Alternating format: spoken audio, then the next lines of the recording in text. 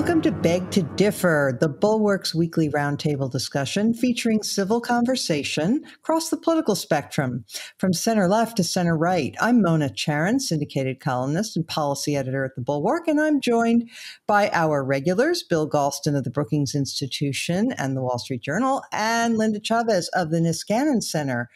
Uh, Damon Linker is off this week, but Will Saletan of Slate has kindly agreed to sit in for him. And our special guest is writer and historian Ron Radosh. Welcome, one and all. Um, there's a lot of news this week, a lot that we will not be able to get to because it uh, happened right before we began to podcast, and we kind of like to know what we're talking about. So maybe next week we can get to um, some of the other matters, like the Supreme Court decisions that came down um, just today. But um, but I'd like to begin by um, asking Ron Radosh to talk with us about a piece that he did in the New Republic a while back with uh, Sol Stern. Um, and it concerns someone whose influence on Trump world um, is underappreciated, but uh, his name is David Horowitz. Um, so, Ron, tell us why people who are interested in where American politics is in 2021 should know a little bit about David Horowitz and well, how you know him. Yes, there are two reasons why you should know him if you don't. I might mention also that uh, in his morning note, uh, Charlie Sykes wrote about him also. Uh, the uh, one has to know him because way before Trump, and before Trump announced uh, for his candidacy in 2016, David advocated exactly the strategy of the extreme right today, of the Trumpists and all their allies. Essentially, he's been saying for years uh, the Republican Party doesn't fight and isn't down and dirty like the Democrats. Uh, and therefore, what we are raising, he's not for politics or civil discussion, uh, even though he says he is, uh, or uh, political compromise of any kind.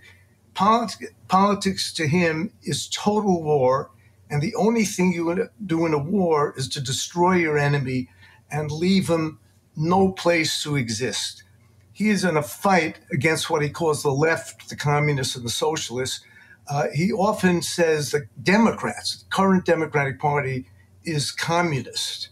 And then in one uh, uh, column, shortly a, a week or two ago, he said the Democratic Party is fascist. So he switched to calling them now communist or fascist. But for years, he's been advocating the kind of no holds barred strategy the Republican Party advocates today. And of course, he approves of everything they do.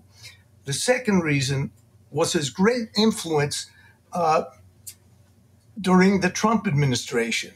He was the mentor uh, to, uh, now his name slipped my mind. Uh, oh, uh, Stephen Miller. Yeah, he was his mentor. Mm-hmm. He groomed him from the age of high school up. He had him on his show. He went to his school, I think it was Duke University, to uh, have to uh, speak at his conservative club, and he groomed him in the style that he had developed. And he also got him his job, his first job. Uh, I think first he was with the uh, what's the name, the extreme woman congressman who's no longer in the Congress. She oh yeah, yeah, yeah.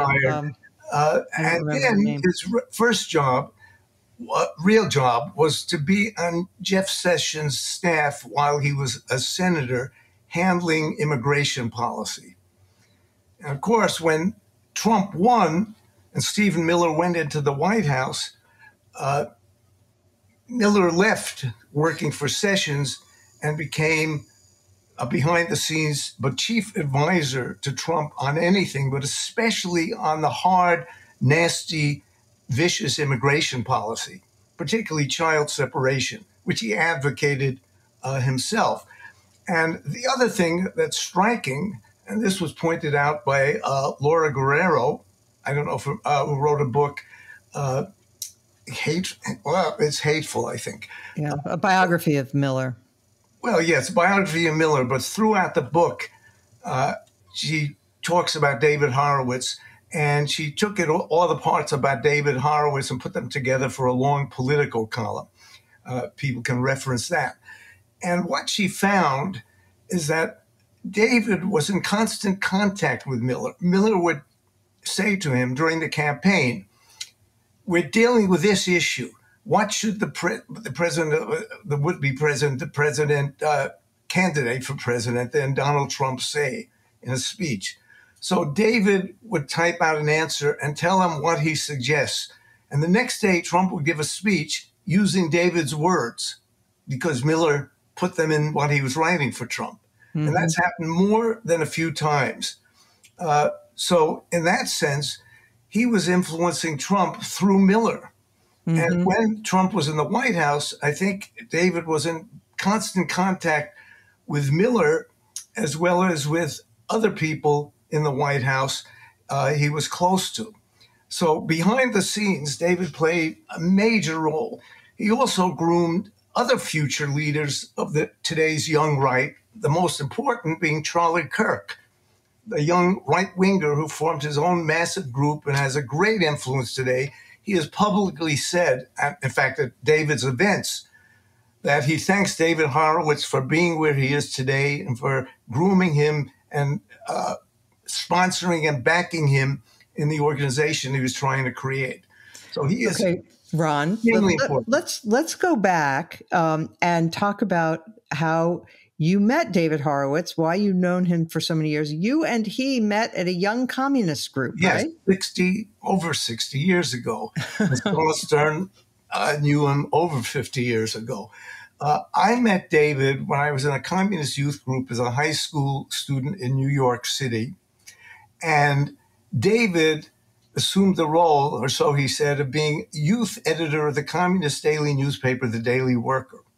And he toured all the chapters of this youth group, and I was in one of the Manhattan ones, coming before them to recruit writers for a purported youth page that was going to be in the Daily Worker. That never materialized. In fact, ironically, I think I was the only one of all those he spoke to that ever wrote, took them up and wrote a column for them. Uh, you won't find it if you go through their archives. I didn't sign my name. Uh, okay. Uh, but I did write one. Um, but he, so you obviously fell away from uh, your early co- communism. Right. Long um, ago. Long um, when when did that happen? Just well, I opposed when the invasion of Hungary took place. Okay. Uh, that British correspondent for the communist newspaper told the truth, said it was a genuine rebellion of the Hungarian people, and I opposed all the uh, all the things uh, that the Communist Party was saying, and then uh, you know it just multiplied from then. Okay, but David had a slightly different path. Right. He um, supposedly left his communist and radical sympathies behind. He had been an editor at Ramparts magazine and on and on. But uh, supposedly, sometime in the very late 70s, 19, around 1980, he and Peter Collier, they decide they uh, announced that they were no longer leftists and that they were now conservatives or neoconservatives or something. Well, they, they um, announced it in the Washington Post column. And what's okay. most interesting, they disagreed with liberal foreign policy, but they they put in a parenthesis saying we don't agree with Reagan on domestic policy. Okay, fine. But the fact is, as you point out in your piece, when you trace this man's history and activism, even since his supposed conversion, he never stopped being a radical. He just became a radical on the other side, right? Exactly. I think so. And he hates anyone who says that. Uh, it's, it's clear when he was in the New Left, he started out relatively sane. He wrote a book called Student. And then the more he got involved, he discovered the Black Panthers and was one, perhaps their only chief and chief white advisor who met with Huey Newton many, many times and raised a lot of money for him, thousands of dollars as well. Uh, so he began mild, and then he ended up radical, picking the most extreme group he could find on the left. Yeah. And then when he announced after the Washington Post article, he created something that actually was quite good called the Second Thoughts Conference. It was ecumenical. It was a mm-hmm. conference mm-hmm. of people who had been on the left and reevaluated certain things uh, that they no longer agreed with. But he had at these conferences a diverse group of speakers. I mean, mm-hmm. one of the conferences, the one called Second Thoughts on Race, the liberal Washington Post columnist Richard Cohen spoke, and I read the text of his speech. They've all been published. He attacked conservatives and Republicans very strongly. Uh, so he let anyone speak, no matter how much they disagreed with mm-hmm. conservatives or da- what David was thinking. So it was a very broad conference. I remember seeing, uh, and that, but that didn't last long. No, and then he he became. So you mentioned that he became uh, also a mentor to. You mentioned Charlie Kirk, Chris Ruddy, um, who is the head of uh, Newsmax, right? Hmm, Television. Mm, right. Sebastian Gorka, Jeff Sessions, Louis Gohmert, who has the right. distinction some people say of being the dumbest member of Congress. Yes, Louis um, Gohmert is always at every single one of his events. Okay. And I, in fact, I went to a party once, the same party at which Steve Bannon told me he was a Leninist. Yeah. Gohmert was there and came up to speak to me. He's, he doesn't miss anything. If David's ever in D.C., you'll see Gohmert with him. Yeah. Ted Cruz and Mike Pence. Right. Uh, what's the connection to Mike Pence? Uh, that I'm not. I don't okay. know. Except that all the people. If you look in the list of what he calls his annual restoration weekends at the Breakers in Miami in uh, West Palm Beach, uh, he has if you if there's a Trumpist, a Trump supporter uh, that you know of, that person is speaking at the conference, and no one else but Trump spe- speakers. Uh, he doesn't right. have anyone who opposes or has a different point of view, except, of course, Alan Dershowitz, uh, which is sui generis. Alan Dershowitz yeah. says he's a liberal Democrat, but everything he does uh, is in support of Trump. So he says, well, I'm still ecumenical. I have Dershowitz, which is right. Really cool.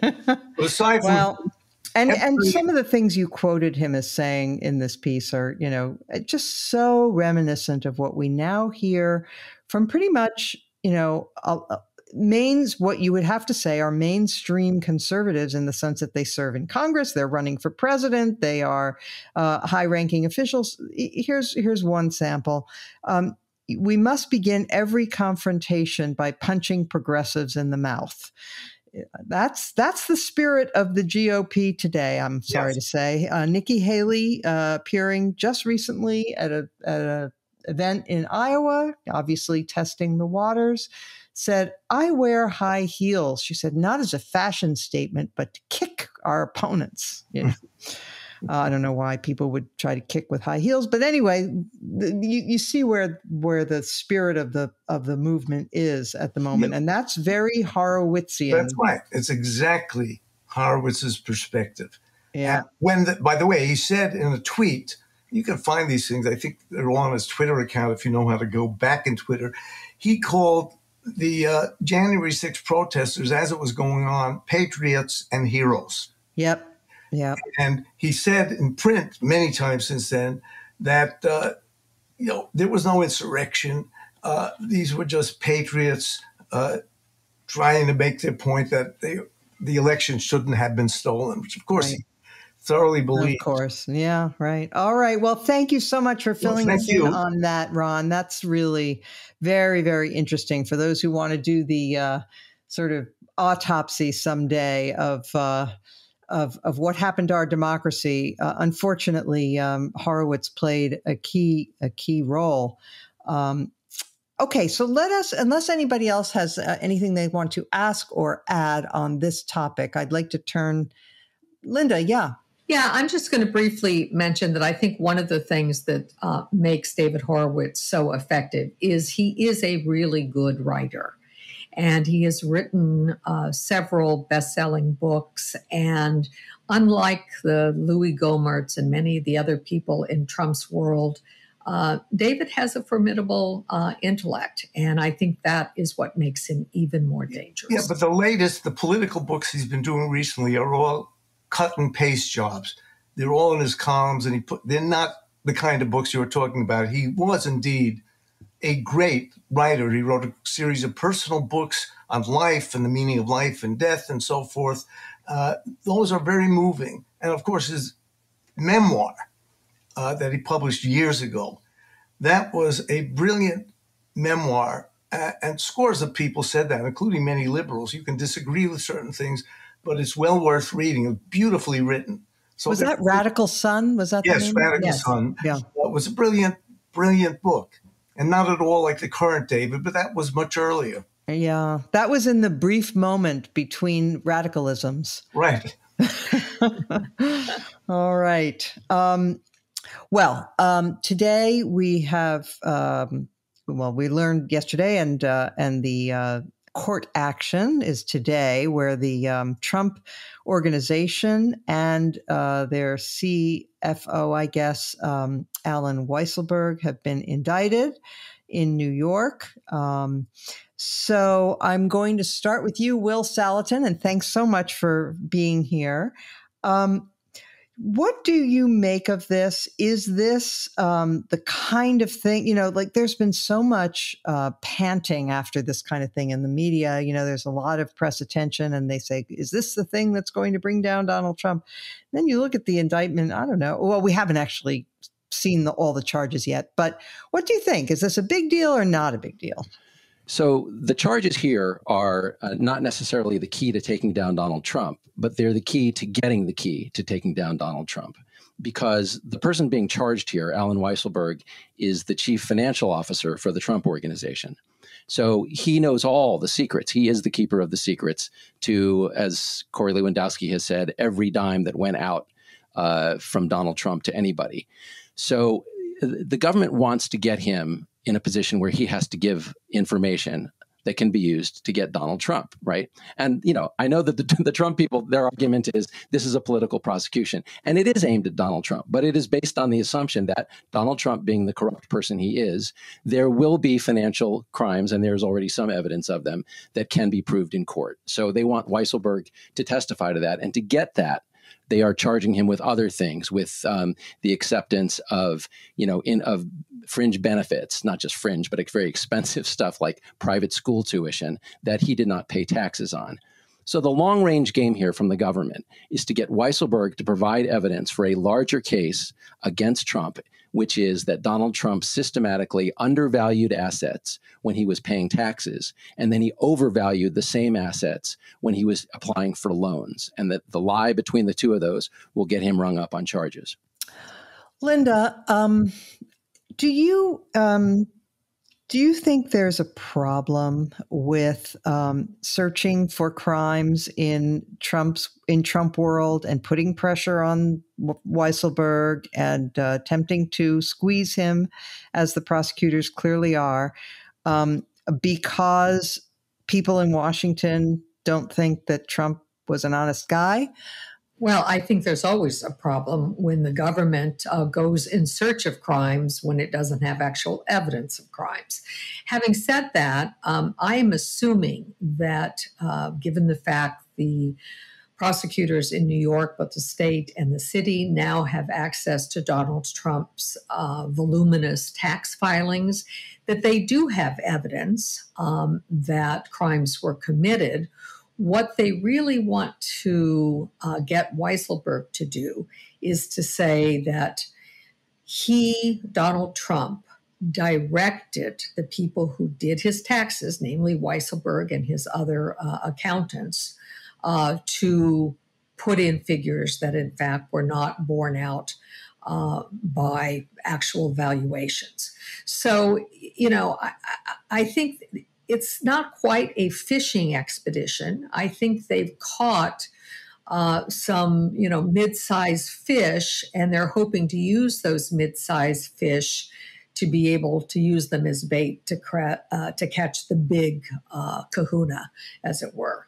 And I think. Um, I think that if if the charges we see filed today, and as of the, our our recording, we have not yet seen those filings, if they only have to do with not um, properly accounting for such things as providing free condominium, providing car leases, providing private school tuition for children, grandchildren, etc. If there's nothing more than that that they have to charge uh, Weisselberg with. And if they do not have really substantive uh, evidence that the tax returns themselves and the uh, various filings with the city and state uh, having to do with what uh, properties were worth uh, in some way conflicted with those that were presented to uh, the various banks when uh, it apparently was Trump's practice to inflate the value of property when he went for a loan and deflate the value of that very same property uh, when he uh, had to pay taxes on it. They've got to have some pretty substantial evidence that there are problems in uh, in those areas, and to be able to point to actual evidence of of uh, the paper returns and filings showing that. And then the next step is to get Weisselberg in a room and to get Weisselberg to say, I filled out the forms that way because I was directed to do so by Donald Trump. I think if they aren't able to do that, it's going to be very hard. And I think Trump is going to use this to his advantage and just claim, you know, more witch hunt, more persecution. And unfortunately, there are going to be a substantial number of people who are going to believe him. Bill Galston, um, I've gone back and forth on the matter of whether it's a good idea to prosecute Trump or not. Um, you know, I, I, worry, I used to worry a little bit about um, the precedent of prosecuting former presidents. That uh, that's a little a bit of the flavor of a banana republic. But I have come I think to a different view now where I think the the damage to the rule of law is greater if there is a sense that the president cannot be indicted or prosecuted when he's serving because he's the president and then he cannot be indicted or prosecuted after he's the president because he's the former president and there you have perfect impunity and since Trump was willing to do so much that was so bad um, it, it, looks like we need to rein in that sense of impunity uh, and and reassert the rule of law. Um, but I have to say, this feels like it is a little bit of small beer compared to some of the things that he could be prosecuted for. For example, um, seditious conspiracy um, the attempt to um, use force to prevent, hinder, or delay the execution of any law of the United States. Well, wasn't that what happened on January 6th? Uh, it, it, certainly was. Uh, and then, then, of course, the question would be to demonstrate the necessary legal nexus between what Donald Trump said or did or did not say, did not do on the one hand, and the actions of people who claim to be defending the legitimacy of his presidency on the other. Uh, and I recall having looked into this a little bit uh, when the issue arose, demonstrating that nexus would not be easy. And mm. the chances of the, the chances of, of failing in the prosecution are not small. Yeah. Um, so this is this is the kind of calculation that prosecutors have to go through all the time. But this time, uh, the stakes are very much higher than they usually are, and prosecutorial discretion uh, very much more important than usual. I will I will say this, Mona. I, you know, I can keep this short because I I agree. I believe with everything that uh, Will and Linda said. And I also share your ambivalence. Uh, my overwhelming objective, uh, pr- speaking personally, is to ensure that Donald Trump never occupies the White House again. And I'm prepared to adopt a very instrumental view of everything else. Mm-hmm, mm-hmm. Uh, and uh, my my fear is that if a lot of people come to share the view that this is, as you put it, small beer, you know, technical, uh, the sort of thing that most people would never be brought up on charges about. Uh, then that could lend credibility to uh, Trump's assertion that he's being uh, singled out for political purposes. And I have to say, all of the quotations that I've read in the past 24 hours from prosecutors are pretty unanimous in saying uh, that prosecution for this sort of crime is extremely rare, particularly at this level. Now, maybe it shouldn't be so rare. Uh, mm-hmm. Uh, I could easily make make the case that uh, in kind income is income, uh, and uh, you know, and this is one of the modes of tax evasion that the rich are especially good at. Uh, so, you know, from that standpoint, it wouldn't be terrible to set a precedent, but this is not just a former president of the United States. This is a potentially a future president of the United States. And that's what worries me about all this. Right, right. Um, I agree. Um, Ron, uh, so there among the um, among the foreign leaders who have been sentenced to or who have actually served in prison. We, we recently, just this week, we hear that Jacob Zuma of South Africa has uh, has been sentenced to 15 months. We had Silvio Berlusconi of Italy, who uh, was convicted of tax fraud, and he was sentenced to uh, some time in prison, but it was commuted to community service.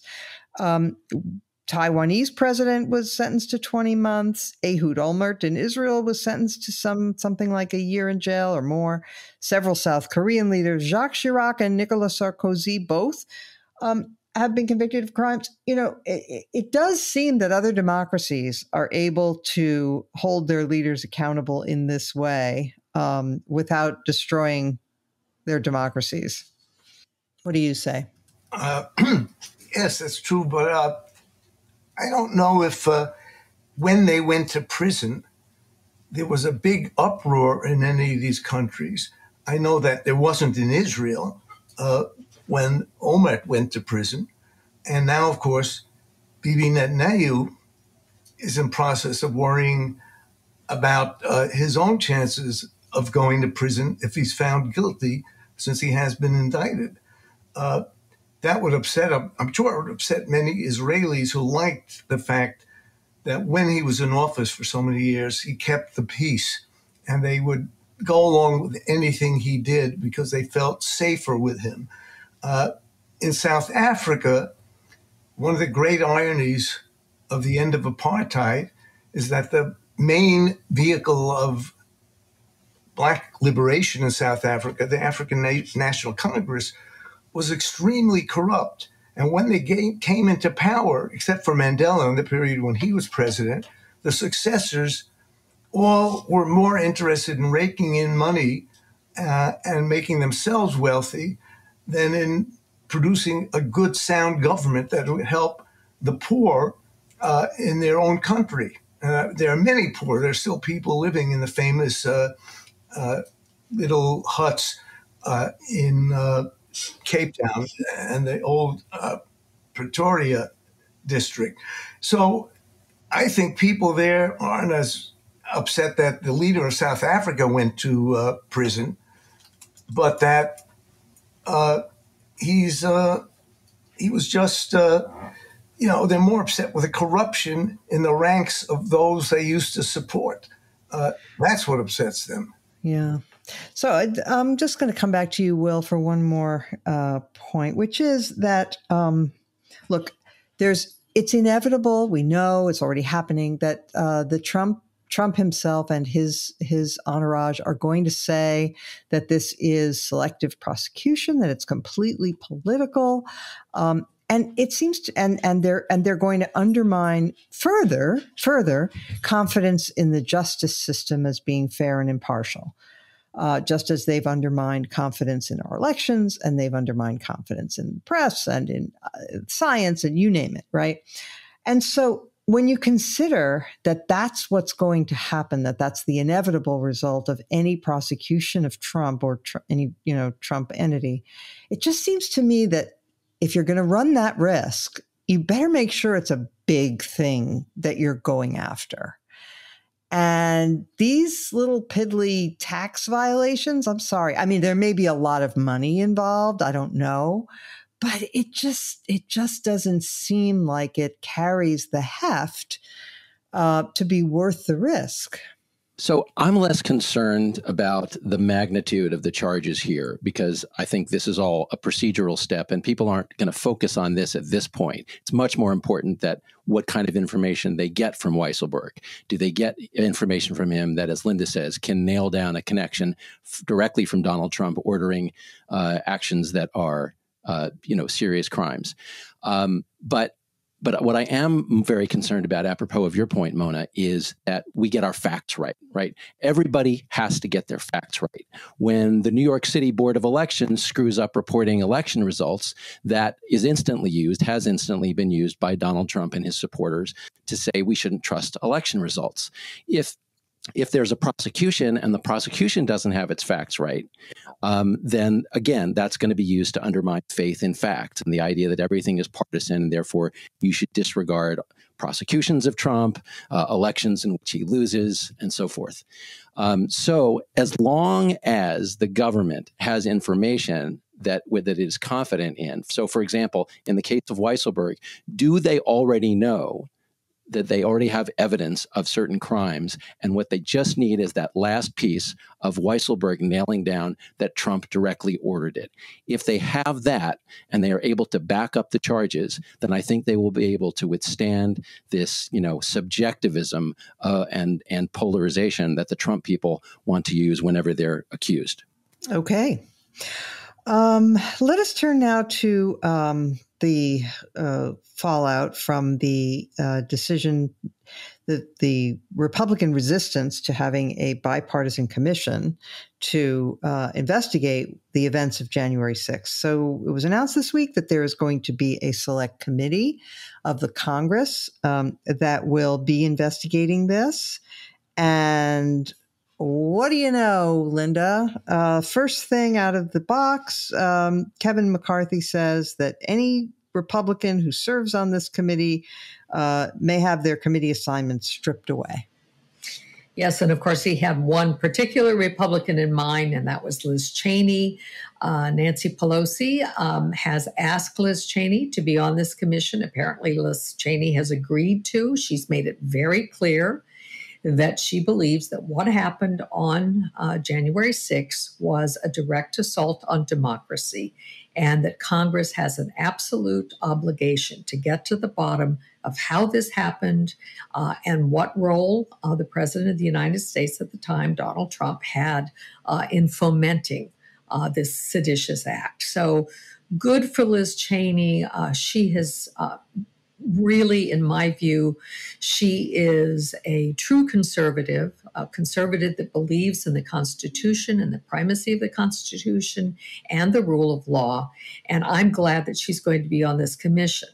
Unfortunately, um, I think because of the way uh, this has come to pass, and the Republicans are largely responsible for it, um, there this is going to be viewed as a very partisan undertaking. And whether any other Republicans come along, if they stand uh, to lose their c- committee memberships uh, on other committees, if, if, Kevin McCarthy is going to uh, revoke their committee memberships, um, then you know others may not join them. And by the way, I mean this is all all the more appalling when you realize that. Um, You've got Marjorie Taylor Greene. You've got uh, Congressman Gaetz from Florida. Both of them, uh, many people think, ought to have had their uh, committee assignments uh, stripped, and, and Greenes were eventually stripped, but not by the Republicans, but by the vote of the House. Uh, and, you know, to suggest that simply sitting on a commission that's supposed to objectively get to the bottom of the attack on the very institution in which these members sit uh, is somehow high treason and therefore they can't serve on committees. I, I think it's going to strike most people as over the top and and who knows I, this may be really good fodder uh, for the Democrats in the 2022 election. Everybody seems to think that 2022 is going to be big losses for the, the Democrats, and I've even been one who's raised that. But uh, they are going so far and so radical uh, that issues like this may come to play. And I think uh, Kevin McCarthy has really uh, overplayed his hand. Well, and um, another member of the Republican caucus, Paul Gosar, um, is openly teaming up with uh, neo Nazis and having fundraisers held by neo neo Nazis.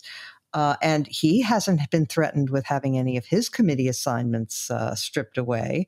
Uh, far less uh, has he been thrown out of the caucus. So that's where Kevin McCarthy is. Actually, uh, I'm coming to you now. Um, I'm coming to you now, Bill Galston. He, here's what uh, my colleague Amanda Carpenter outlined in the Bulwark this week about Kevin McCarthy. So just bear in mind, he supported Ken Paxton's bogus lawsuit challenging the election results in several states. He voted twice against certifying the election. He refused to impeach the president for his conduct. He opposed the creation of a bipartisan commission. He booted Liz Cheney from leadership for telling the truth. He opposed the idea of a committee to investigate the events of January 6th. As we just mentioned, he's threatening to uh, strip committee assignments from those who do cooperate. And then he says, well, it's very partisan. Your comments.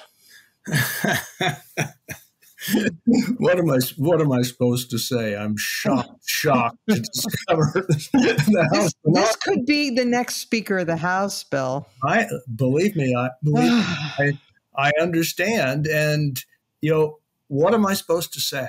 I mean, he, he has made a strategic decision uh, to use the full force of the enthusiasm that the base of the Republican Party has for Mr. Trump and all of his works and ways as the fuel uh, that will, you know, that will propel him into the speakership.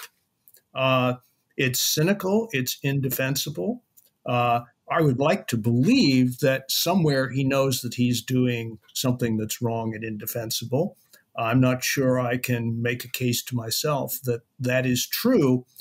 Uh, and now let, let, me add a consideration that I wouldn't have added before I did some research. Uh, an obvious parallel to what's going on right now is the Benghazi Select Committee. Uh, and it's easy to forget uh, that the Benghazi Committee was responsible for uncovering the unsecured emails that arguably were the single biggest factor in Hillary Clinton's defeat.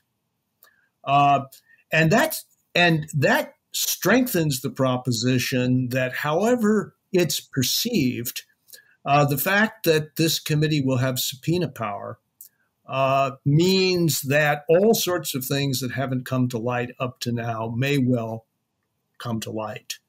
Uh, and I somehow don't think that the stuff that we don't know right now will redound to the credit of Donald Trump if and when it becomes public. So, once again, thinking very instrumentally about the consequences of prosecutions and other political actions, I have to believe uh, that this is net not good news for former President Trump's hopes of becoming future President Trump. Well, that's a really good point and interesting. I mean, you know, there's a there's a faction, and unfortunately, it's a very large one in the Republican Party that is a bit impervious to reality and to facts. Um, but that's not all, and um, and there's a good, you know, minority within the Republican Party that uh, is is not down with all of this, uh, and also there are independents. So, um, so yeah, it's it is possible that it will have an effect. Um, um, Ron, yeah. I just want to um, just want to re- refresh your recollection um, about Mitch McConnell.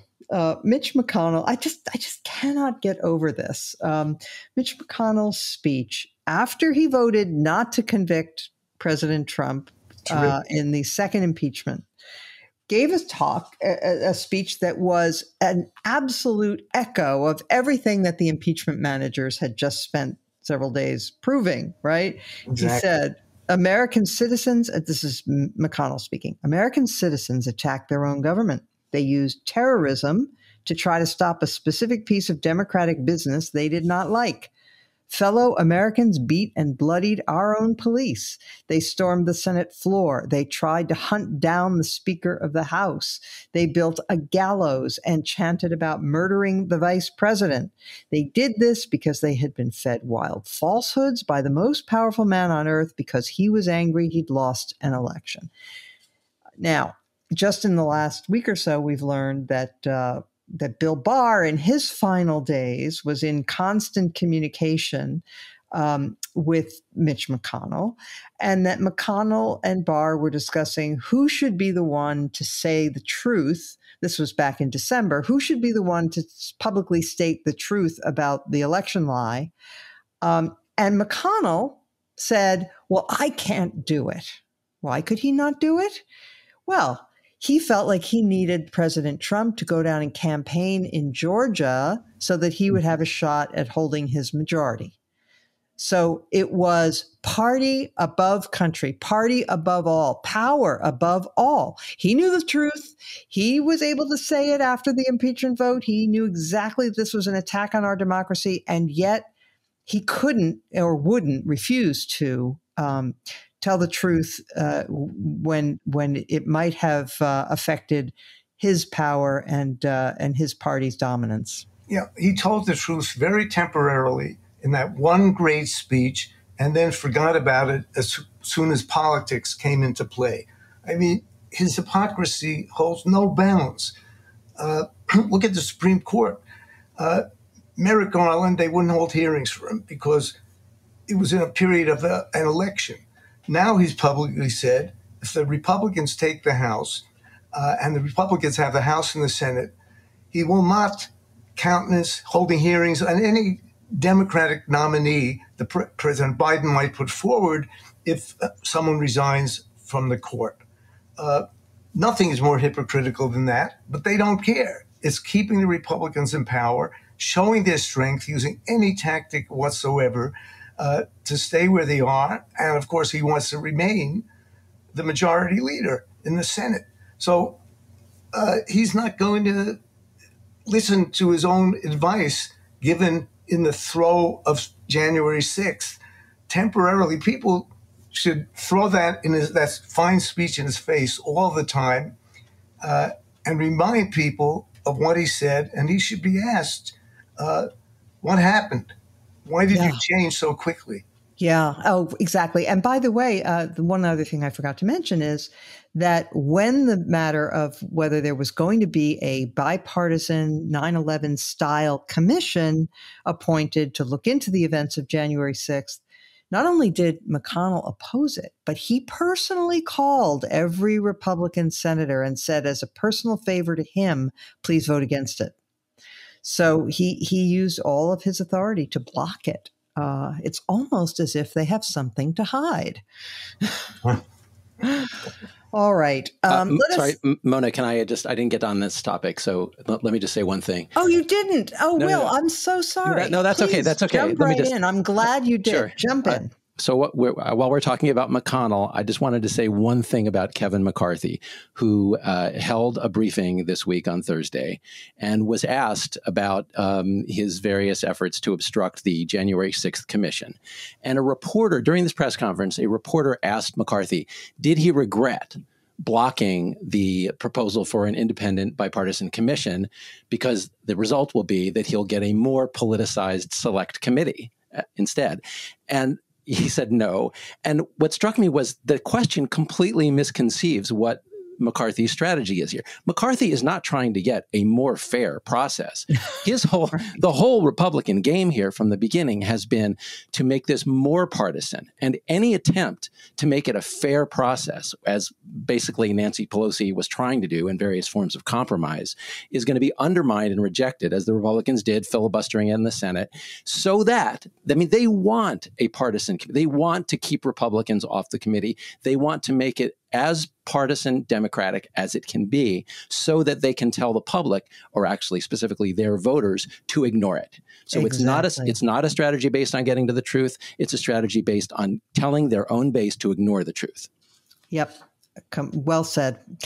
All right. Let us now turn to our highlights or lowlights of the week. Start with you linda Well, I know we didn't have time to talk about the Supreme Court decisions that were handed down today, but I do want to draw attention to an article that I think does a, a really good job of explaining the voting rights case that was um, handed down today, and it's actually on National Review Online. It's uh, entitled Justice Alito's Majority Opinion in Brnovich versus the DNC, and it's by Ed Whelan. I will say, and I should have full disclosure here, that uh, the organization which I founded and still chair, the Center for Equal Opportunity, was an amicus uh, in this case, and we came down on the winning side. You're going to hear a whole lot this week about how this decision absolutely gutted Section 2 of the Voting Rights Act, and that now the Voting Rights Act has been made toothless. Uh, I want to assure you that is not correct. Uh, it did, in fact, uh, take a more narrow view of a standard in voting decisions, whether or not you have to prove intentional discrimination, or if you are alleging that a particular act has a discriminatory effect, even if it was facially neutral.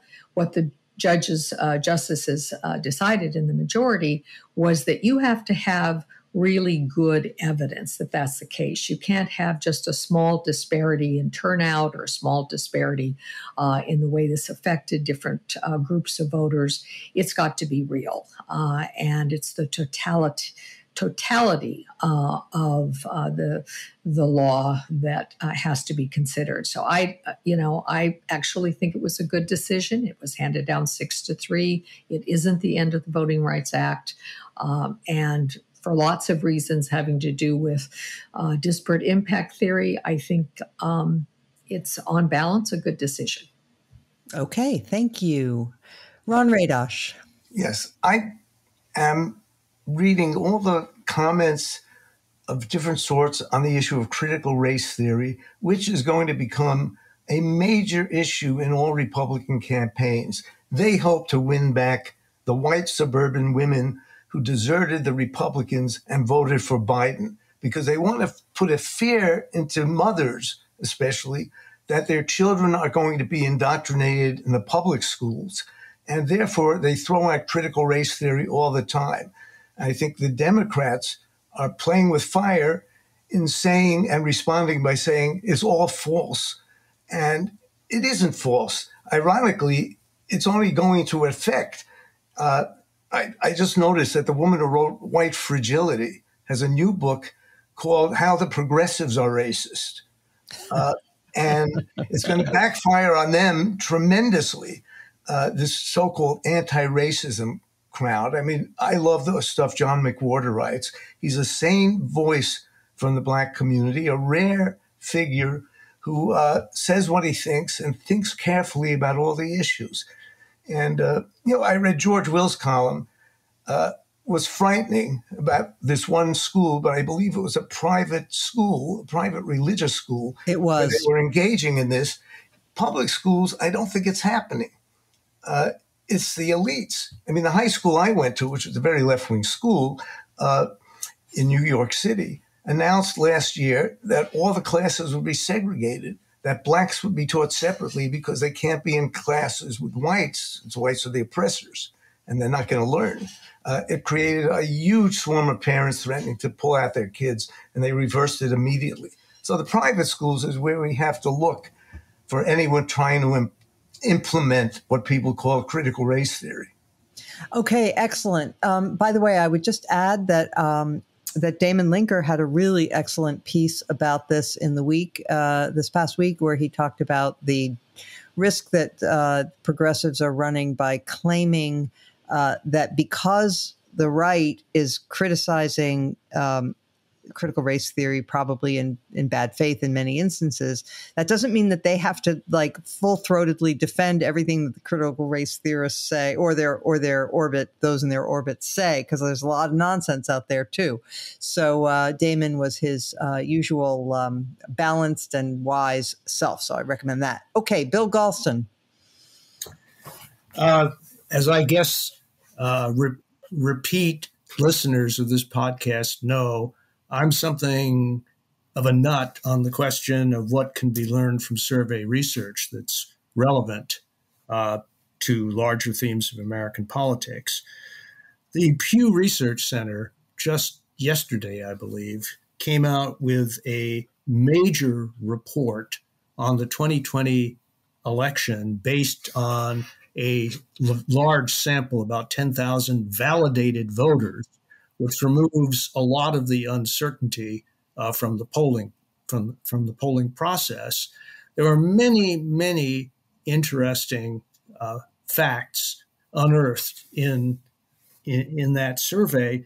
The one that caught my eye was that educated Hispanics, college educated Hispanics, were much more likely to support Democrats than working class Hispanics.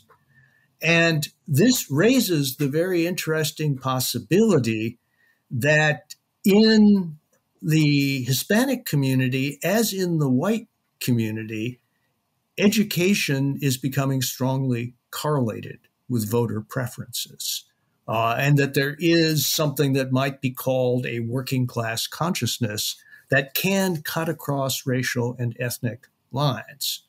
Uh, intriguingly, there was no evidence uh, that uh, educational attainment makes any difference whatsoever in the voting behavior of African Americans. Bottom line, I think it will turn out in the long eye of history uh, that African Americans have been and will remain a unique group in American society, uh, and that groups like Hispanics may very well over time go the way of other, other immigrant groups in merging into the broader society. Interesting. Uh, I, I um, don't know if this featured in the Pew research, but I know it, we have discussed it here on this podcast uh, several times, and it's worth remembering that um, African American voters are not as progressive as educated whites.